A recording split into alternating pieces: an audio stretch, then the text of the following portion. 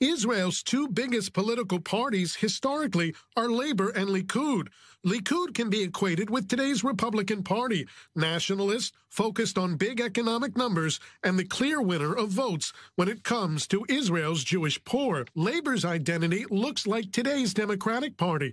Both present themselves as fighting for the disaffected in society and instead get pegged as the parties of the elites. In fact, Labor did not win any of Israel's poorest 100 cities or towns in the last election.